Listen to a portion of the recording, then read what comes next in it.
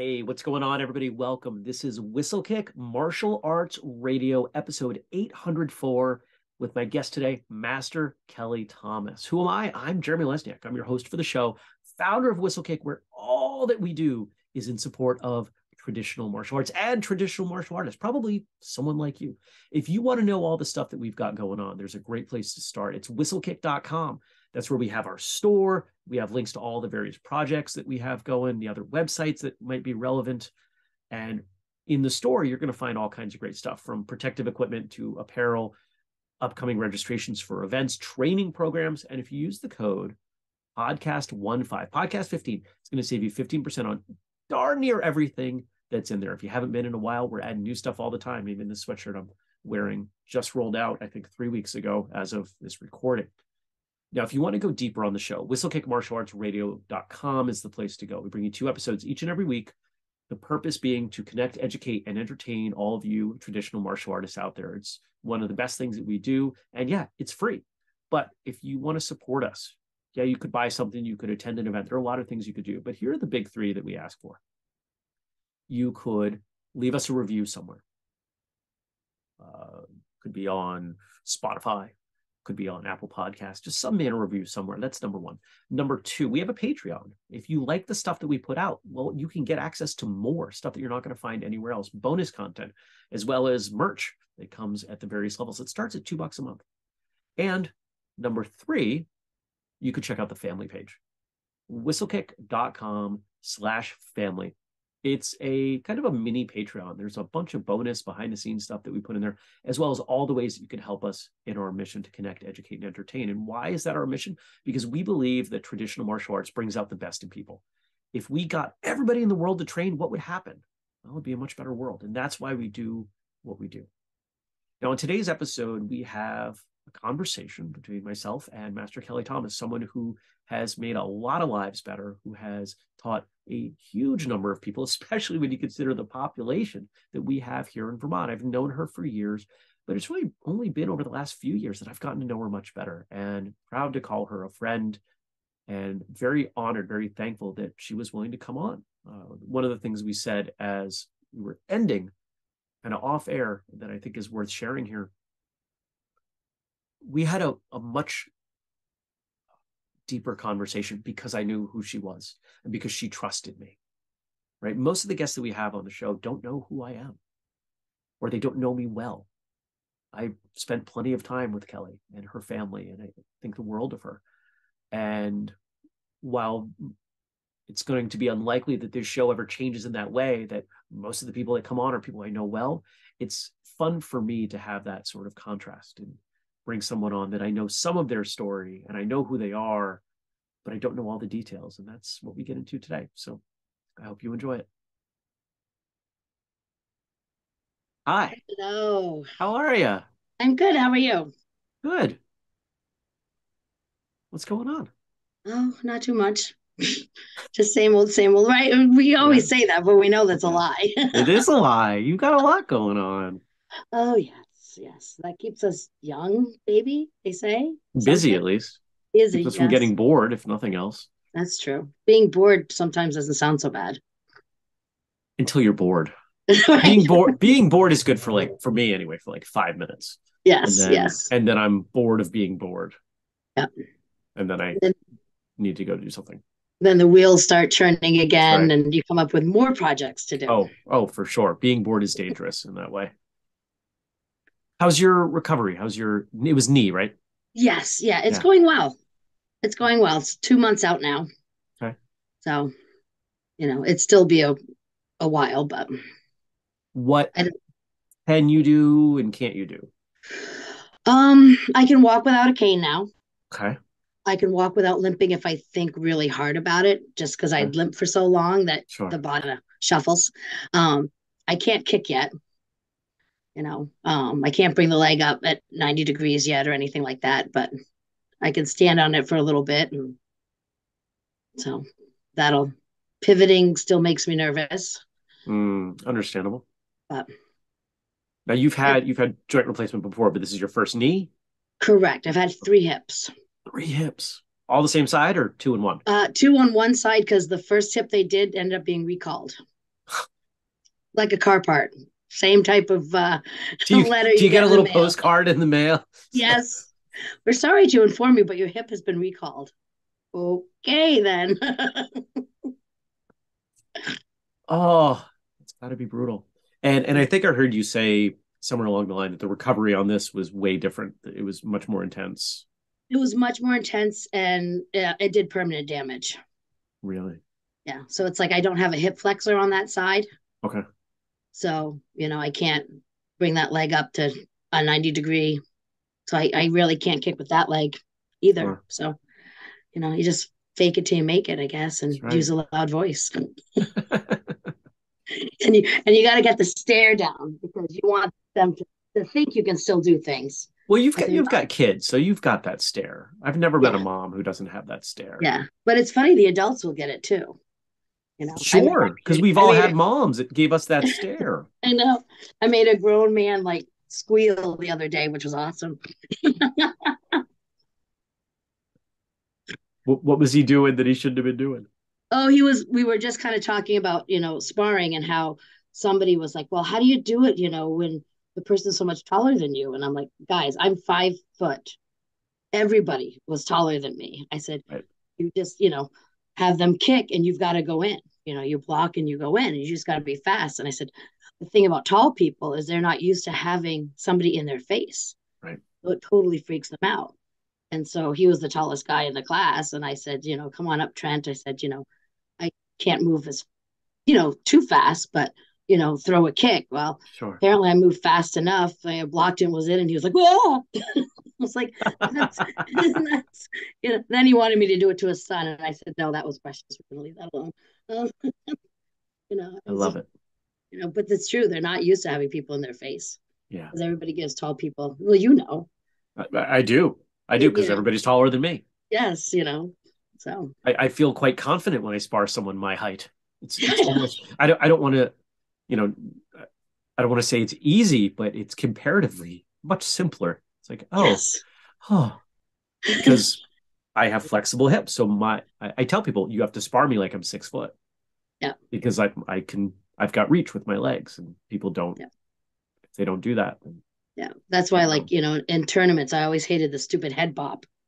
You know yeah. that they they started allowing. And yeah, yeah I had uh, Ian. I think you've met Ian, bushy yep. hair. Ian, yep. he went to Snyder's there, and I, I wasn't there, but I got to um, watch the fight. The guy is like a foot taller than him, and kept head bopping him. I'm like, really? There's like no skill there. No. So, but, but it is what, what it is. is.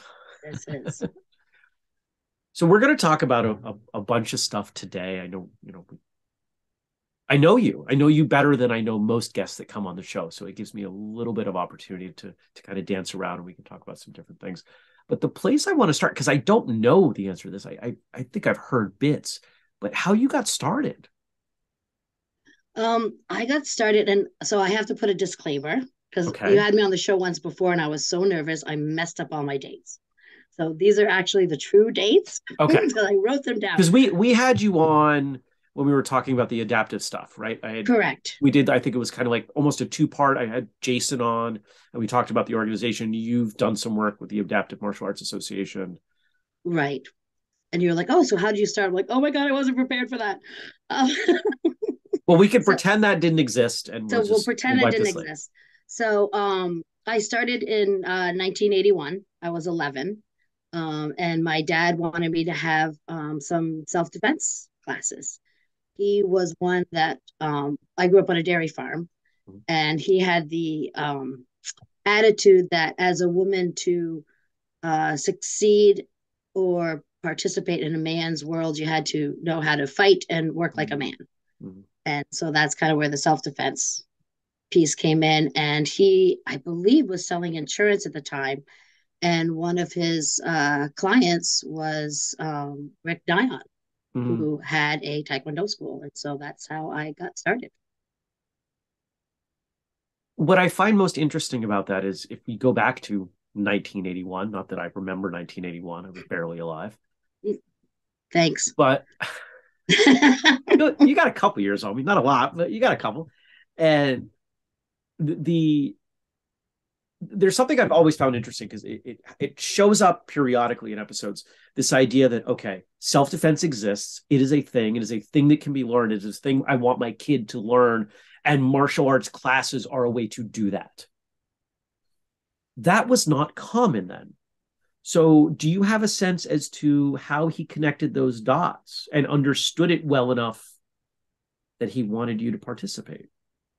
I'm not sure because honestly, back then I don't remember doing a lot of so-called self-defense. Sure. You know, as opposed to just, you know, learning how to spar and how to kick. And I think with him talking to um who became Grandmaster Dion, you know, Grandmaster Dion's like, well, you know, they learn how to kick. And you can, you know, and and defend yourself because I don't think self defense was really necessarily on the radar mm-hmm. as much. Like you said, okay. it was just sort of like, you know, you're learning how to kick and punch and block.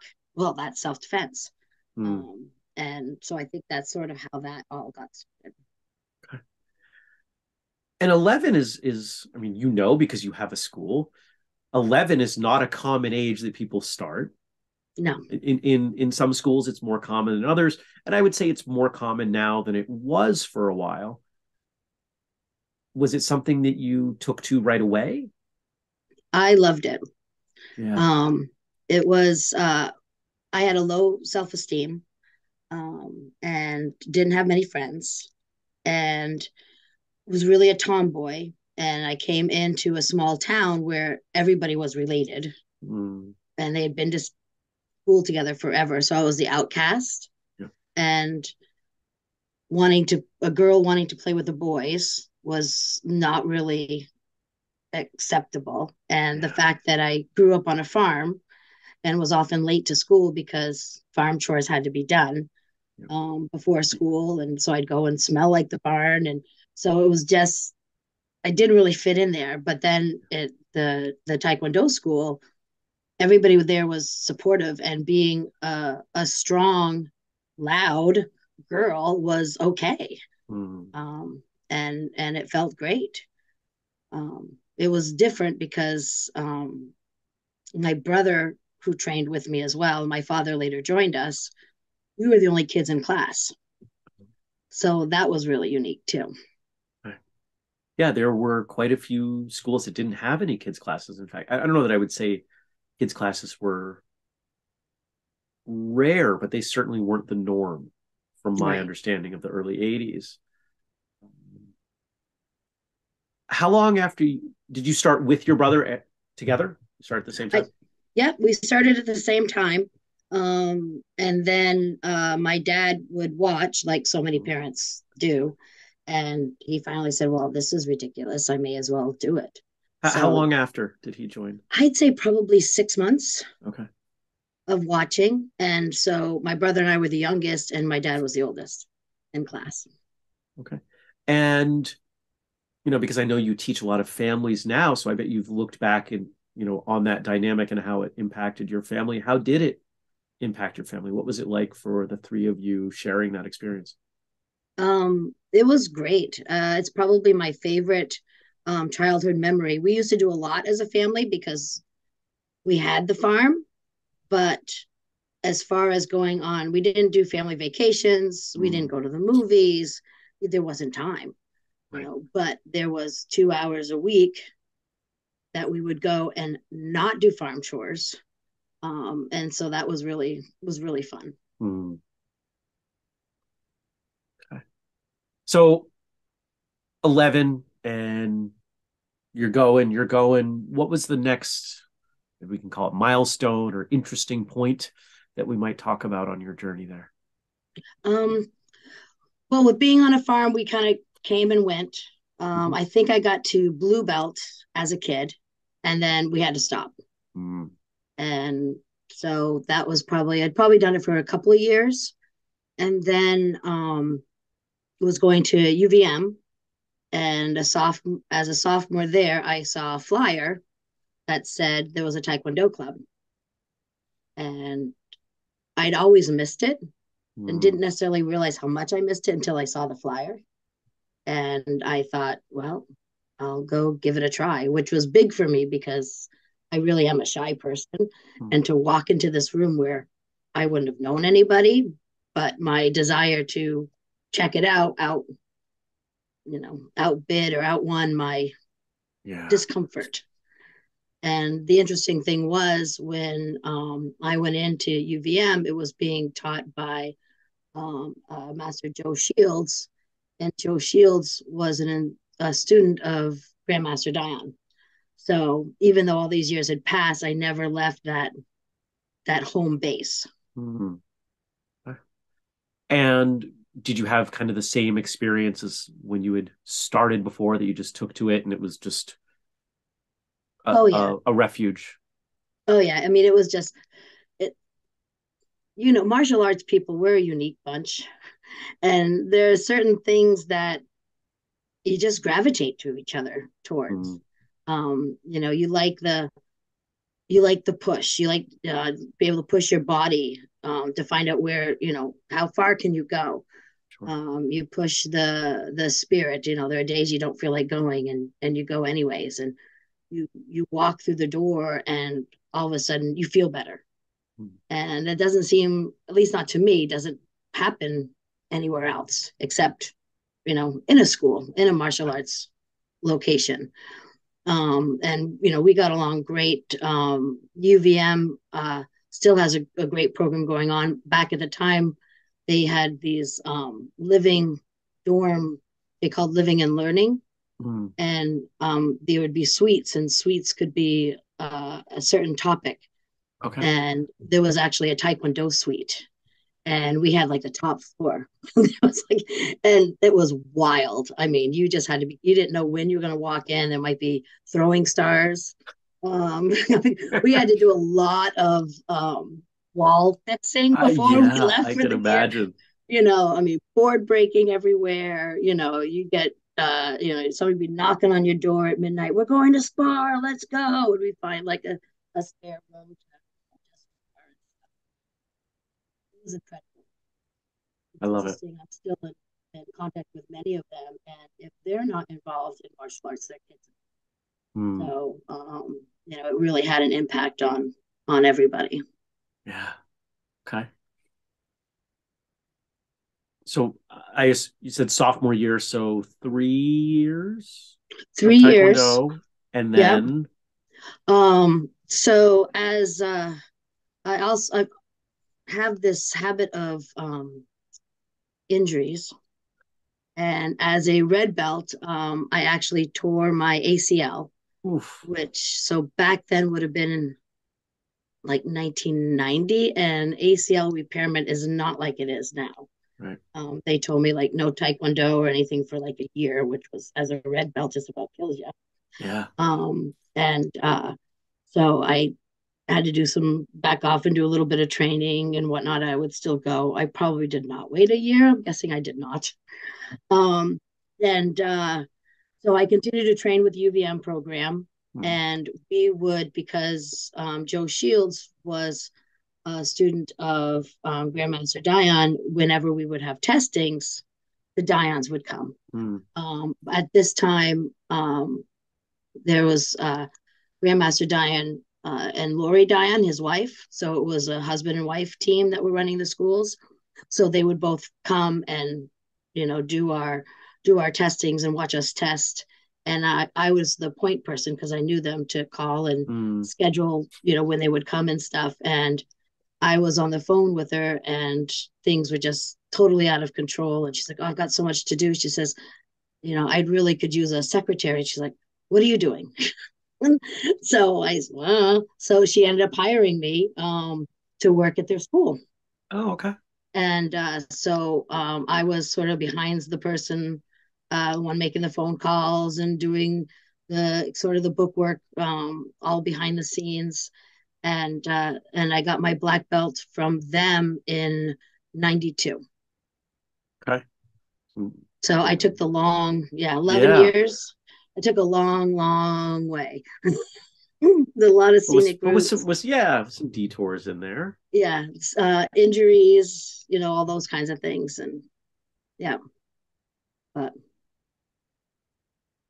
do you think you appreciated it more because of those detours?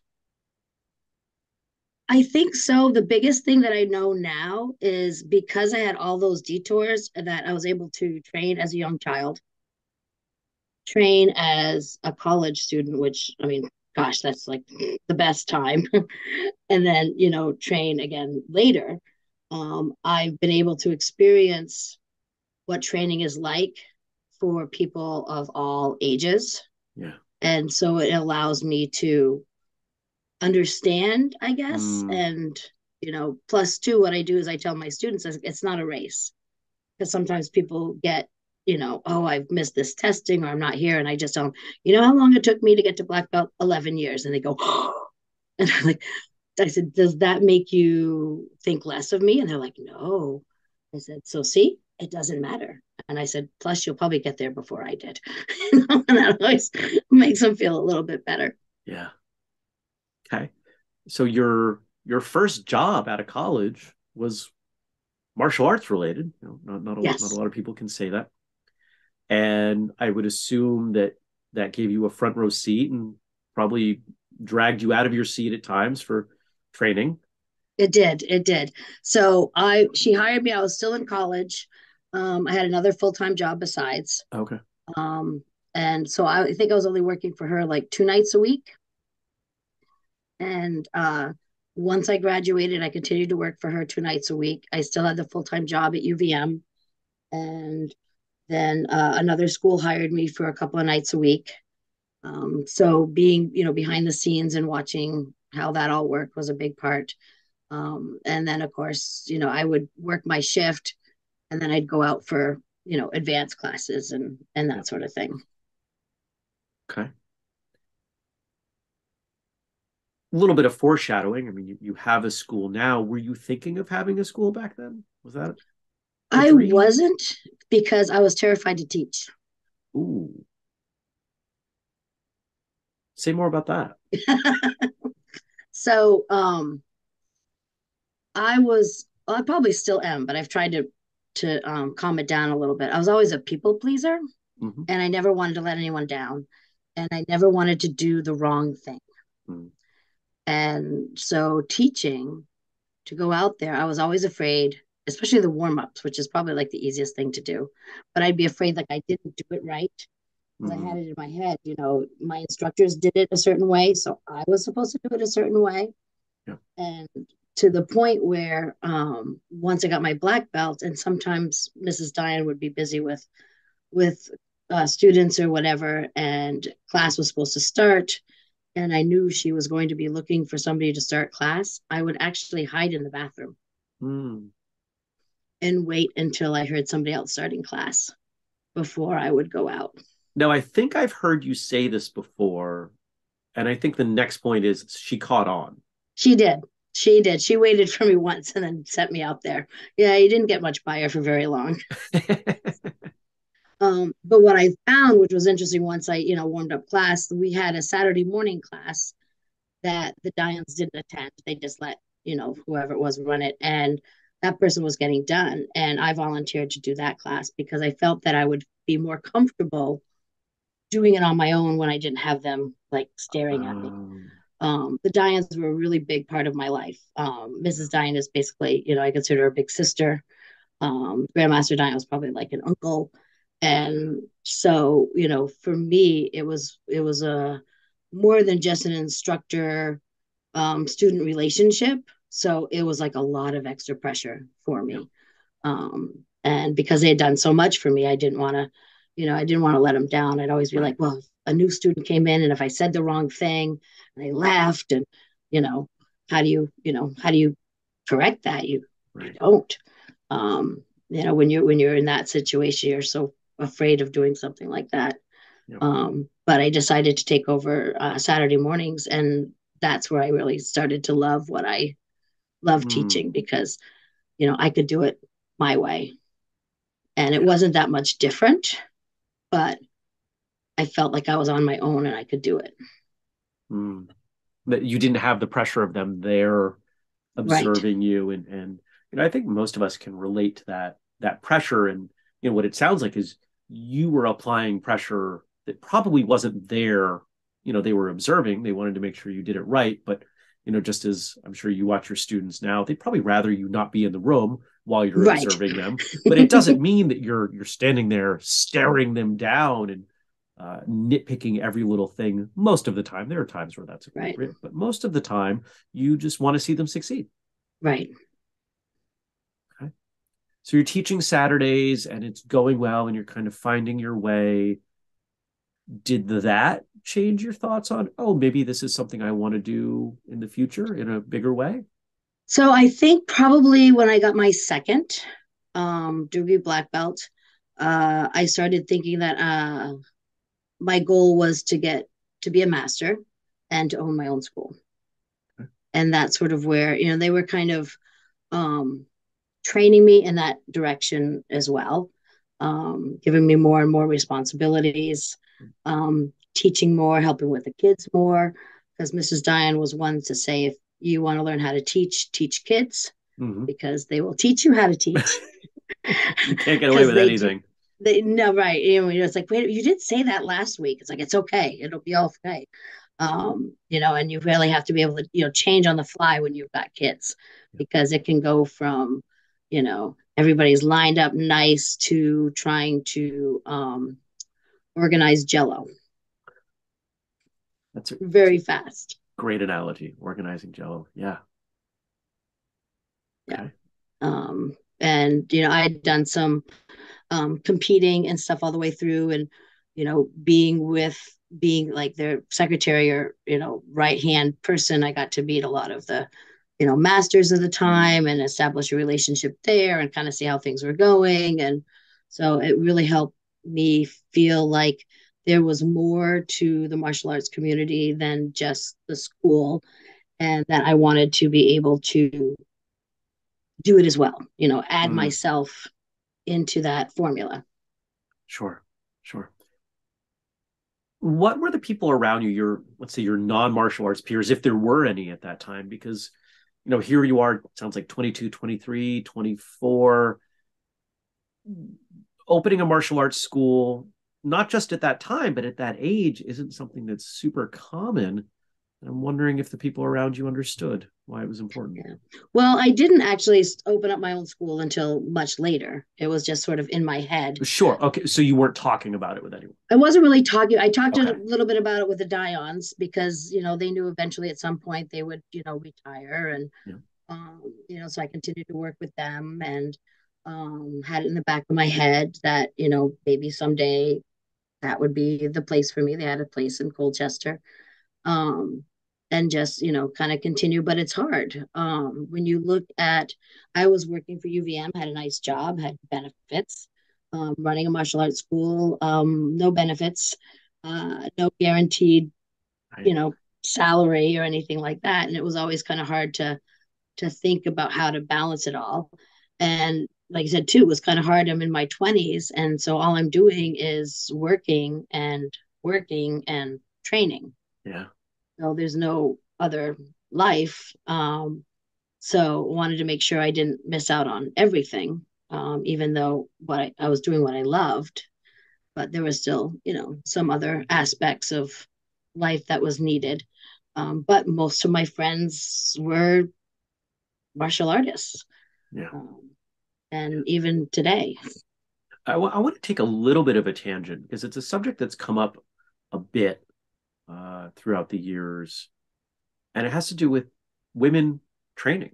You know, mm. 1981, there were not a lot of women training, and even fewer teaching. And I've, you know, I, I have met well, Grandmaster Dion. I've not met Mrs. Dion, so I don't know what the dynamic between them was back then. But I'm going to guess that you know he, as the senior rank, you know, kind of ran classes and, and the culture was a bit more of him than it was of her.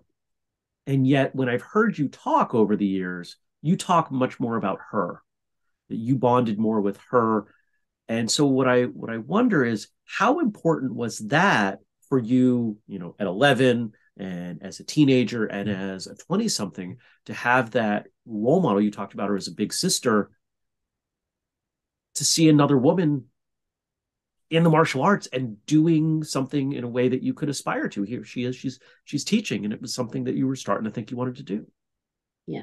Um so it's funny that you say that you would think that um grandmaster dion would be the one that he oversaw things but she did most of the teaching oh she okay. really did she really okay. did uh he would do um like the black belt classes he would do some of the advanced classes but because uh, he also had another job, he was a carpenter, uh and so he she ran the schools basically. They okay. did have two schools. One was in St. Albans, um, and one was in Colchester for a long time before they sold the one in St. Albans. Um, but she primarily did all the teaching and um, any of the you know the office stuff that I didn't do. Um, you know, she was the the face he was sort of like the head you know he'd walk in and you know he had this way about him that you know he'd walk in and you knew somebody important walked in mm-hmm. You wouldn't know who it was because he had like long hair and wearing flip-flops so definitely not the attire you would expect but you you're you're describing my first impression of him as well yeah like, right you know you just who's like, this guy with long guy? hair and flip-flops at a time of year when flip flops aren't really appropriate and everyone is just looking at him reverentially, it's like, ooh, yeah, he's somebody. So it is somebody, you know, but he never had that air, right? He just sort of it came with him. And so, I mean, he was, you know, he was there. He was the he was the grand master, um, but she was really, um, you know, the heart um, mm. of the school. And so that was really unique because, like you said, there weren't that many women that had that important role in the martial arts. And so, with that, I think that also brought a lot of other women to the school. Yeah. You know, I think women instructors or women school owners, which I still don't think there are a lot, tend to bring in a lot more girls yeah. and women. Um, and because uh, I think at one point, um, we had like 30 women black belts in the school.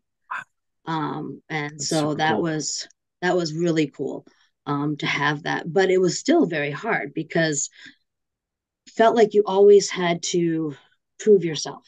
Mm. You know, because you were a woman. You had to prove yourself all the time. And I know she felt that um, a lot of the time.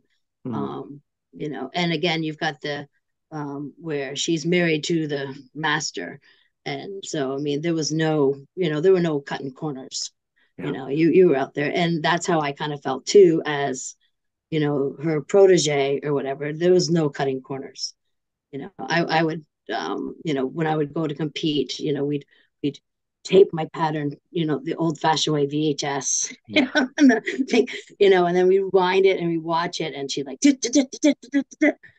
and you know, it'd be like do it again and tape it again.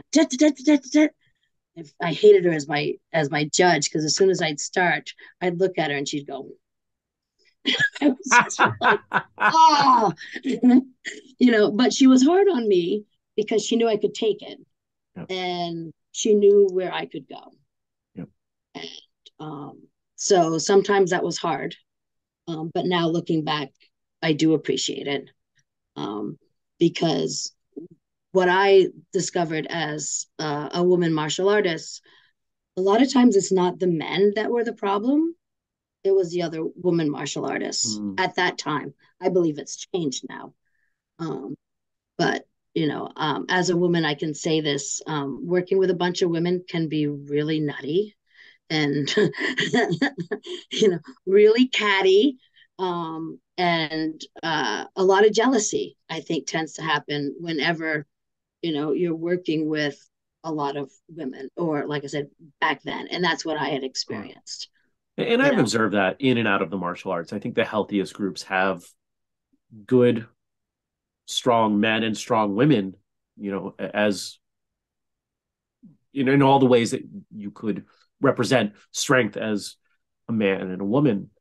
Um, different body types different energies. I think it and, and you have schools now so i'm sure you you've seen it. You've had groups where it's a little more lopsided one way or the other and it's it's less healthy.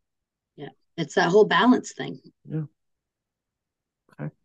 So, but no, she was she was a big influence on you know what I do now. Sure. sure. Okay. So full time job. You're in your twenties. You're being raised, groomed to mm-hmm. go and do this should you choose. But I also know that, you know, we've we've made it to maybe mid 20s, took a while. And because you opened your school, I think I've heard you say six, seven years ago. Uh 16. 16 years ago. 16 years ago. Okay. Yeah, six, right. seven I'm missing years. a one. No, yeah, well, six, seven years ago I went full time. Okay. So yeah. Okay. All right. So yeah. then let let's let's talk about the the points in time between you know mid 20s and you starting to teach for yourself so what happened in there so um i was probably i got my third degree and the dions were moving this was probably nine, 98 yeah so i was about 28 Dions are leaving. Um, and for some reason, and like I said, everything happens for a reason, and it was their business, so it was their decision. They wanted me to stay on as like the secretary person and take care of the books and being the office person, but they felt that um, I wouldn't be able to handle all the teaching as well. Mm. So they started grooming somebody else mm. to start doing the teaching, and that we would do it together as partners. Okay. And I wasn't a big fan of that. Um, Why? Partly because the person that was coming in, every time he came in, complained about having to be there and teach. And so he, I, you, you, know, and I, you're getting better was, as a teacher, and you felt yes. like you had this this role set in front of you, and they wanted you to work with someone who didn't even want to do it. Correct. Oof. And you know, they thought it was great. I never said a thing to them because, like I said, it's their business. They want. Yep. They were retiring. They needed to set it up the best way that they thought possible. And uh, at the time, when I was working at UVM, um, I was approached uh, about a different job that was going to take me into Addison County. And um, they guaranteed me uh, a huge raise, better benefits. And so I decided to go that route.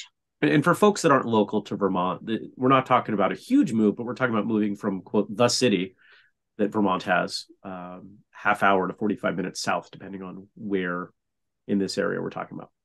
Right. And so for me, from here to Colchester, it's about an hour or so. Um, and uh, it was going to be a totally different job. It was a sales job, um, and so I was going to be on the road all the time, and figured that, you know, I needed to give myself the opportunity to do this, and let um, the Dions go ahead and and and do what they were going to do, yeah. and I was going to stop the martial arts. Mm. Um, at least that role. I was still hoping to continue to train um, which I still did. I would still drive up and train once in a while, but it just it wasn't the same. Um, the Dions left, and for me, that was a big, you know, other people took over the schools.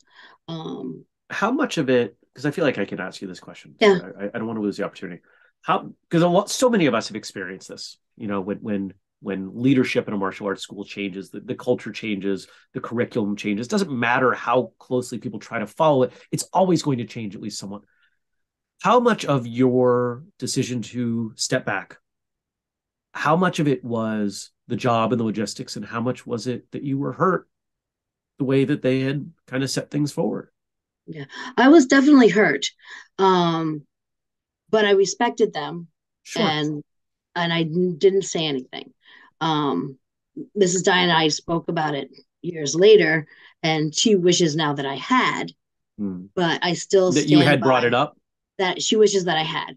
I felt if I did, I would be more like a bratty kid, like, mm. but you promised, you know, and this was a big deal, you know, and they had, you know, it made sense have somebody do this and somebody do this, but it wasn't what I wanted.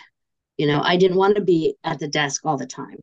You know, I wanted to be a big change from the kid who was from the from the you know girl who was hiding in the bathroom you know i i love teaching and you know molding people and doing that and since it was no longer what i envisioned myself doing or what my goal was i was like okay well it's time to shift yeah. and so that's what i did um, i think i left the school a few months before they left um, and of course like i said mrs diane and i years later talked they were also very upset and hurt the fact that i left um, and I moved down um, into uh, Addison County and started my new job. Mm.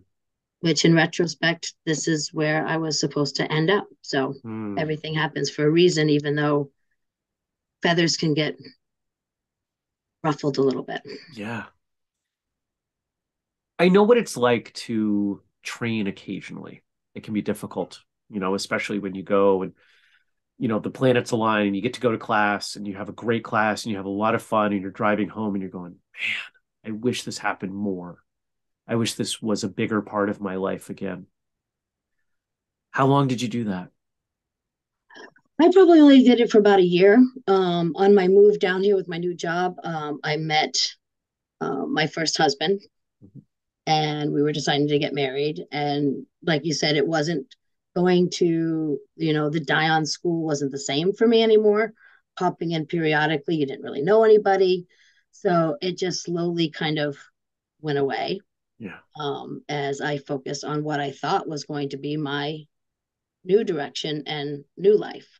So that kind of, you know, getting married, having kids. Um, my first husband was also a dairy farmer, so I went back to, you know, farming. Um, you know, and that really kind of like helped kind of screen over that part of me that I, you know, tried to convince myself wasn't important, that this was this other part now was important. Um, and you know, Taekwondo was in the past, and I did what I did, you know, packed everything up. Um, I tell people, uh, you know, I went th- so far as I threw away all my old belts which I tell people don't do it, you know, but it was my way of cleansing and like, nope, I don't need this stuff anymore. But in actuality, it was more painful me to see all the time. So I was just like, chuck it, get rid of it. Mm. Uh, and then see, I could I could toss it. I, am all done. I don't have to do taekwondo anymore or any martial you arts. You thought that chapter of your life was done. I really did, and I really did, and I, you know, I I really tried to force that book closed. Mm. But obviously, it didn't stay that way. when did you reopen it? So um, my daughter was five, and um, she was attending uh, a private school. And every Friday, they would have athletic days mm. because they didn't have gym every day. They just blocked off, you know, either, every Friday afternoon to do their athletics. Mm. And they would bring in special people to do all kinds of different um, athletics, you know, or they go play, you know, go skating for the afternoon, or they go play basketball somewhere. And um, my daughter, who um, has anxiety, every Thursday night would be a panic for her mm-hmm. because she wouldn't know what the athletic was, wouldn't know if she'd be any good at it, and didn't know if she'd even like it. So we'd always have to come. We'd always have to have a big conversation on Thursdays she came home on Thursday and she said, um, We're doing Taekwondo tomorrow. I was like, What? Because even though I was done, I was kind of looking for a school to enroll my daughter because I knew how great it was. Mm. And I couldn't find a school around here. So I was really kind of curious as to who they had found.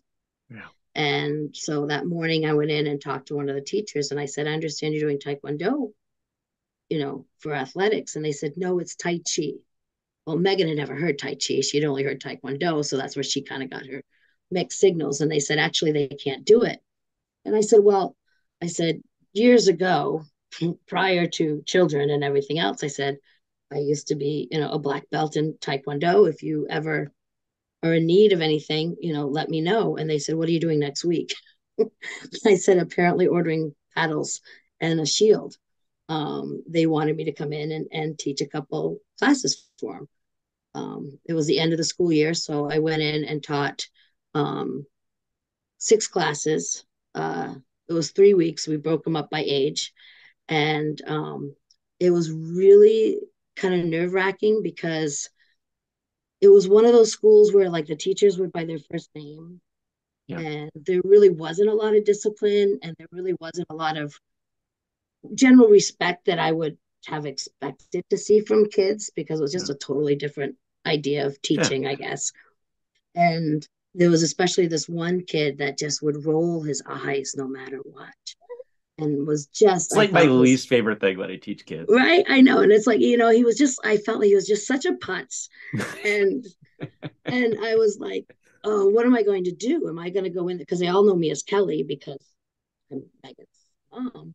Right. And I said, what am I going to do? And I said, well, they got to get the whole thing. So I went in and, um, you know, said, um, you know, got everybody lined up. I said, okay, while I'm here teaching, um, I'm uh, this is good. Uh, I'm Master Thomas, you know, and Master is my job name. Like going to the doctors, you know, it's Master Thomas. We're gonna bow.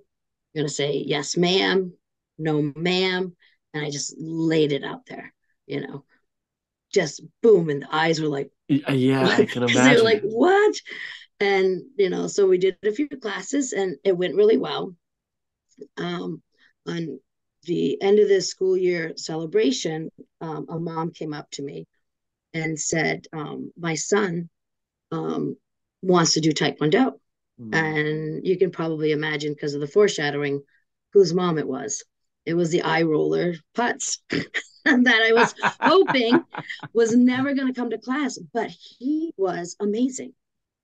And another mom came up to me, and there was another boy um, that really wanted to do Taekwondo. And I said, Well, I said, I've looked. I said, for schools, I'll look again. If I find anything, I'll let you know. And they were like, No, you don't understand. They want to take it with you. Mm-hmm. And I was like, uh, I've never, you know, haven't done anything for a while, you know, uh, let me, let me think about it. And so I did. I thought about it all summer um, and so at this time, so when my daughter was born, I was sort of a stay at home mom. I figured out a job to work from home. Now my son's along.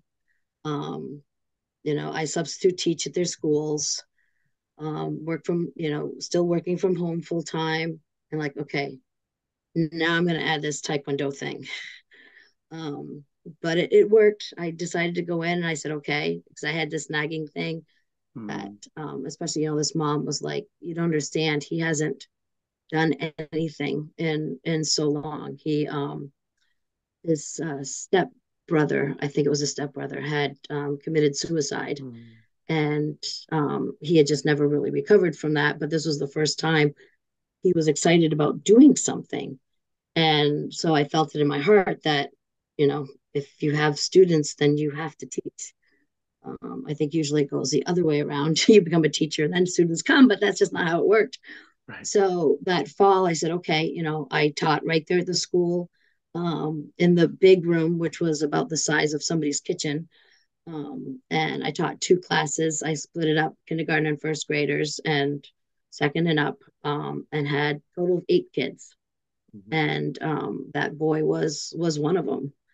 And as it started to grow, um, I decided to, okay, uh, maybe I should go rent a space so I can have more people. Because if I'm going to do this, I may as well mm. do this. And so I went out and rented space. Then I had a mom say something about, I'd like to do classes. I'm like, you know, you'd be the only adult, right? She's like, yep, I don't care. So that was my first adult in class. And so it just kind of, you know, started to grow.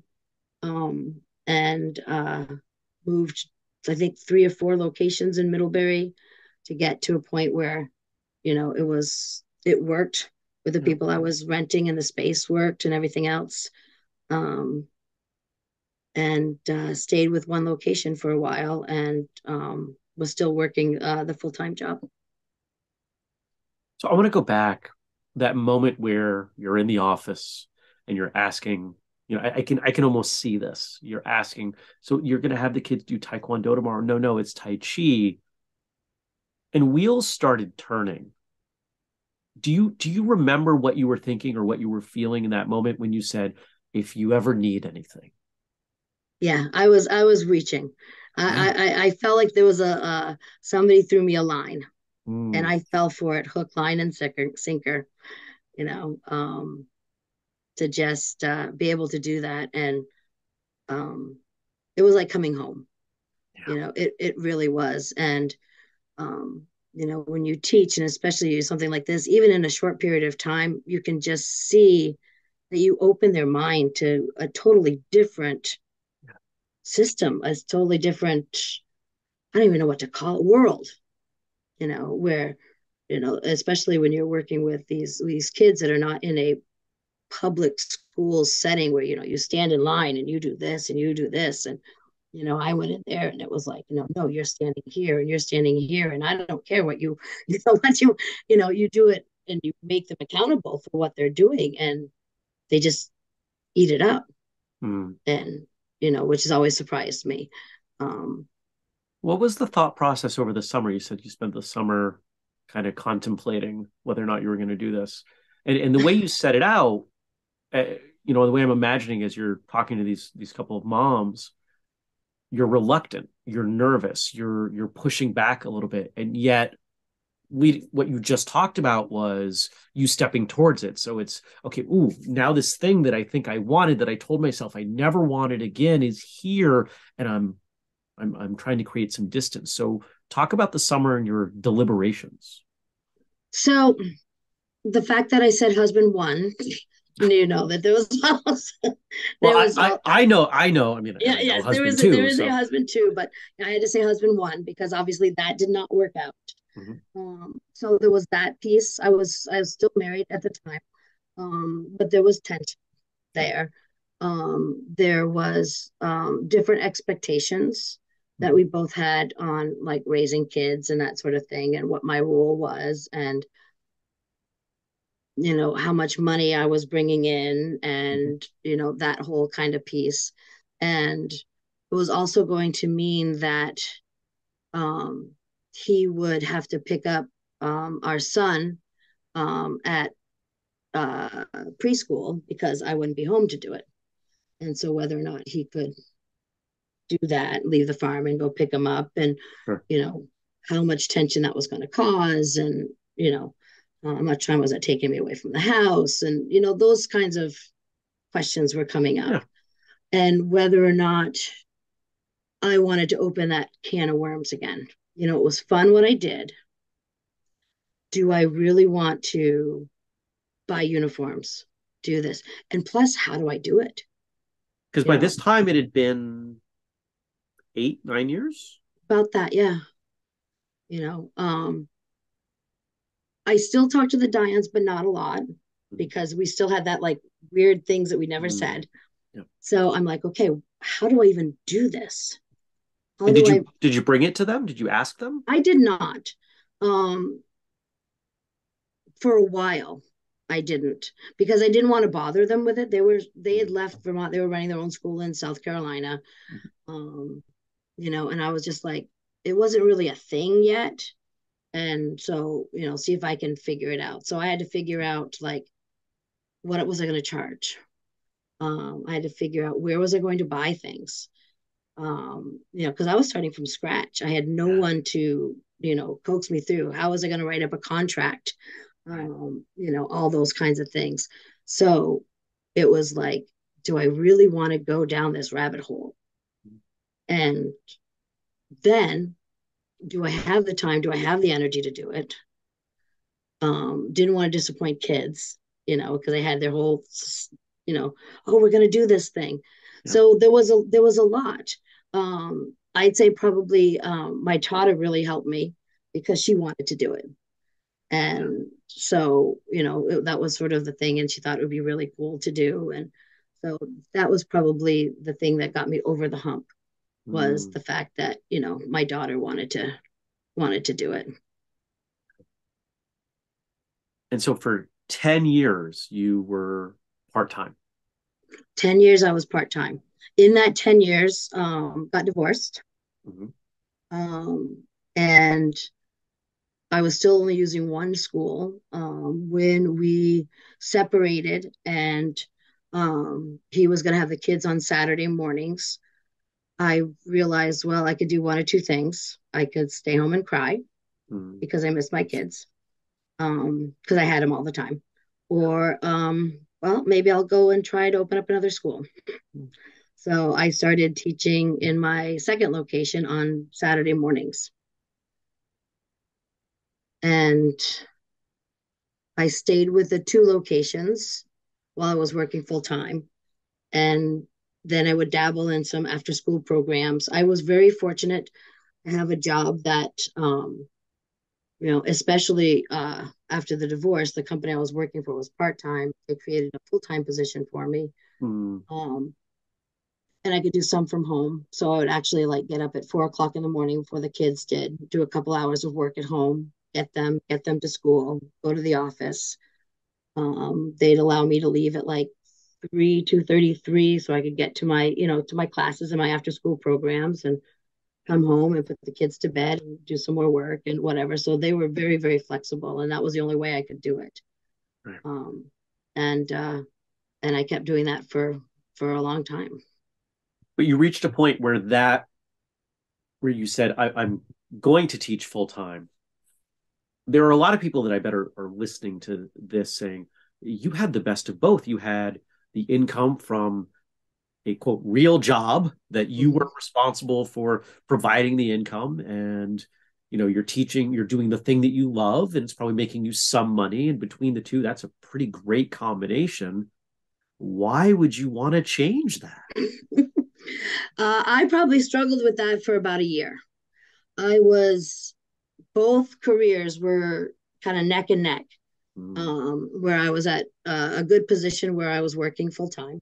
Mm-hmm. Um, probably able to go into a management position um, was sort of like the the course and but then the taekwondo thing was really taking off mm-hmm. um, and i was finding that between I was working way more than, you know, 20 hours at the Taekwondo thing with, you know, because I still did back then, I did a lot of um, advertising.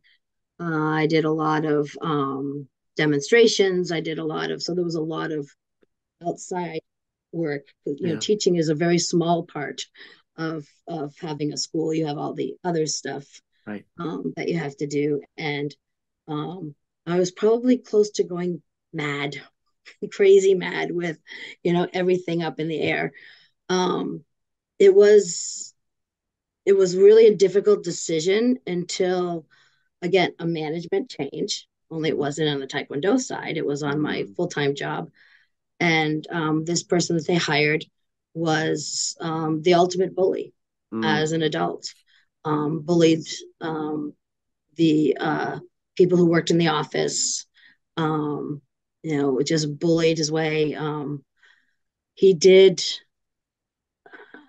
basically he he did part of my job that he shouldn't have, and I was mad, and I brought it up to the powers that be, and they were like, I was totally right, but they couldn't have disgruntled employees, so.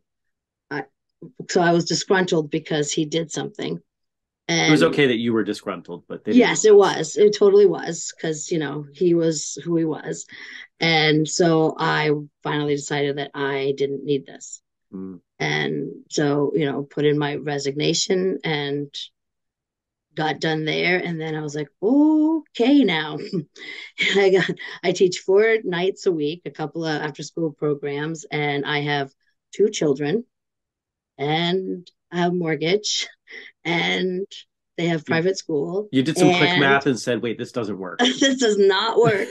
does not work at all. Um, so that's when I really started kind of trying to think outside the box mm. because a lot of um, martial arts schools teach in the evenings and afternoons, but you have this whole daytime where, you know, I was supposed to be working. And so I started getting a little um, creative and uh, um, reaching out to um, preschools and going to teach at preschools and going to do um, uh, teaching gym classes and you know back you know uh, i wrote i did like a letter and sent them to every school in the district. And you know i would send letters to um, pediatrician offices. And i would send letters to guidance counselors. And i would send you know and just throwing it out there and just hoping something would stick. Mm-hmm. and you know fortunately it it did. Um, and so that's where it kind of started to come around and you know it it seemed to have worked. How long did it take for you to be able to let's say breathe financially? Go okay all right. I, I didn't just ruin my life uh, last year probably okay probably right. took five years okay. four or five years yeah it's a long time, but at the same time, it's also not. Right. Um, because you yeah, were I... figuring some stuff out. You know, one of the things I think the audience needs to understand is we live in a pretty low populated area. You know, the if, if we add up the population of all the towns that you're teaching in, 25,000? Mm. Maybe. More cows. Oh, there's certainly more cows. but I'm just I'm I'm trying to do because Middlebury is the biggest right? And what's the population of Middlebury? I don't know. It's not a lot. Not a lot. So, so you know, we're not talking about building these programs in cities. We're talking about you having to be so deeply immersed in the community that it just becomes automatic that, oh, martial arts, Master Thomas. And that's a big reason why um, I didn't buy a building or rent a building so I'm uh, Taekwondo on wheels, I guess you could almost say, yeah. you know, because I rent space and I only rent it for the time that I'm there teaching. And so I travel everywhere um, because uh, individual schools on their own are not that big. But when you combine four schools, right, that's what I need. Um, and they're not going to travel in Vermont, people have to travel a lot for work. The last thing you want to do is travel from work to home and then travel another 30, 40 minutes right to go to your kid's class. You know, and, and I'm not I, I know some things because you know we have conversations and I'm not going to disclose anything, but I will say that if I'm remember if if my understanding is correct, if we add up the the schools you have in the way that most people would think of this is my school, you have the biggest school in Vermont. I think that is true. Could be. Um, so if I look at what I call my regular students, and those are the ones that come at night, so that they have they pay individually. Sure. Um, I'm about 250 students now. It's a lot. That's a lot in an area where, you know, I know plenty of schools that have 20. Right. But like I said, you know, each one has like, you know, 50, 60 right. students. Right so that's why I had to do what I did um, is knowing that I would never get that number. Not that I knew there was a certain number I had to get to, but I knew, you know, 30 students was not going to put food on the table for my kids. Um, you know, you probably had more than that when you quit your job. So, and then the other programs that I run, they pay me by the class. And so usually this during the school year there's probably a hundred um, preschoolers and after school kids i see. So. It's a lot of impact. You know when you, you talked about that if we kind of bring it back full circle you talked about that impact you talked about the impact that it had on you you talked about the impact that you wanted it to have on your daughter. Is that still what drives you it is um, the whole reason i teach you know, especially when we're talking about um, tournaments or testings or whatever. I said, you know, my whole reason of teaching is to help increase people's self confidence and self worth because I lacked that growing up. And um, my older students, I, I will share with them that, you know, I was I was suicidal all through um, high school and college, and in fact was a cutter in mm-hmm. college. And you know, I tell him Taekwondo saved saved my life. It was the one thing that I felt good at and in college it got bad but by then miss i was teaching kids and i knew you know it sounds awful but you know you you if you read enough you and you know the impact that a suicide what kept me from following through um, and so i want to make sure that uh, kids know or even adults because the adults needed help too that there is a place that they can come and be loved and be supported. And um, I tell my students all the time, I'm I'm so blessed because I trained in a great school. I loved it, but there was there were egos, there was bickering, there was you know stuff, but I don't have it. I, I don't have the drama and, and I want to talk about that because that's a subject that you know, of course, you listen to the show, you know that we talk about that on the show, seemingly every third episode at least. and it's a subject that you and I have had a lot of personal conversation about in our strong distaste for that and what it leads to. So, how do you keep that out of your school?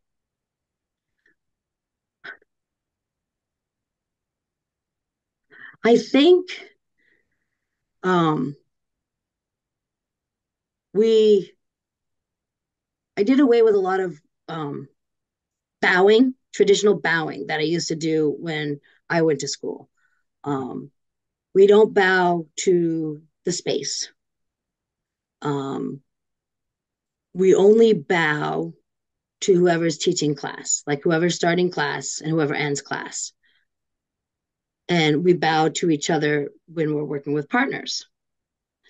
But like we don't do this whole like if I have somebody else start class, I don't make them all bow back into me because mm. they already bowed. And um when you come into a space, I feel bowing is for people, not for space. Sure. I probably would if I had my own building with the flags and everything else, maybe I would do it differently, but maybe not. Yeah. Um, and even though now it's kind of tricky because we've had this conversation too with you know using um, uh, pronouns like sure. um, I guess not for sir and ma'am or Mister or Miss. Everybody is called that, even the youngest kid. You know, three year old, three year old Jeremy would be uh, Mr. Jeremy, what do you think? It's, you know, the respect or, goes in both directions. Both it's ways. not one way both ways, and everybody is sir or ma'am or bucks, um, and it's just for everybody. You don't have to be a certain level to be given that same greeting or that same um, courtesy. Um, we don't. I don't have people bow to all the black belts as soon as you see them, you know, because we're just like everybody else. Um, and I think that's that may be part of it. Um, right I, I think it's a big part of it. You know, right yeah. from the get go. Um,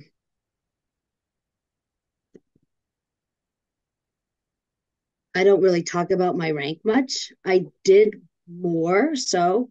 Um, again, if we talk about you know being a, a woman running a school, um, that'd be one of the things that you know how do you match up to the rest of the schools. Um, but it doesn't seem that important to me mm. anymore. Um, a lot of it has to do with the people you have gotten, I've connected with through Whistlekick and realizing, oh, you know, it it's important, but it's not all that it needs to be. Um, and everybody seems to support each other and come together and yeah, mm, I'm mm. just lucky. I think it's more than luck, but it's okay. So what's next as you look into the future and your life as a martial artist? Oh, I was wondering if you were going to ask me this question. um, my future is probably different than most that you have um, interviewing. Um, I am hoping to be moving to Florida next year. Mm-hmm. Um, uh, I've had a lot of, um, well, I have fibromyalgia mm-hmm. and I have osteoarthritis, mm-hmm. which um, I've already had three hip replacements, just had a knee replacement. The other one needs to be done this year. mm. and the shoulder's on its way out. Mm. Um, I just can't handle the weather up here. And I always tell people that, you know, my my heart and mind was built for taekwondo, but obviously my body was not. Um, I just have bad joints. I don't know why. Um, so I'm actually hoping um, that I will have people lined up um, to continue running kicks um, and that they'll still be, you know, um, planting seeds and growing confidence and stuff like that. And um, I'll be stepping out.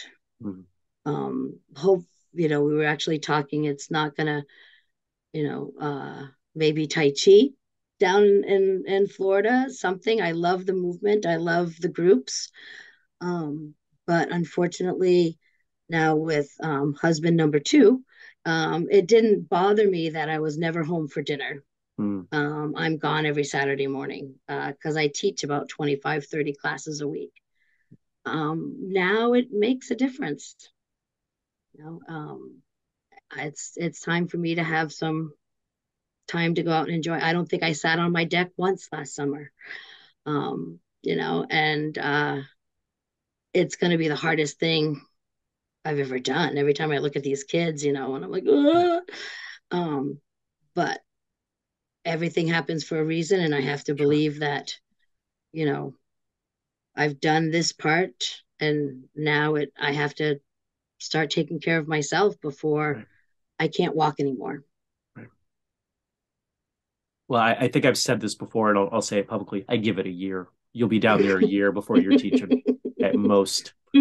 Somebody uh, somebody will find out and they'll say, "Hey, can you teach my kid?"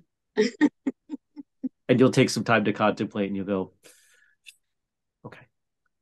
Yeah. Well, if I feel better, you know, maybe, maybe. Sure. Sure. And, and and my understanding, you didn't you didn't mention it, but my understanding is that's why Florida is that when you've spent time down there, that you're you've felt physically much better.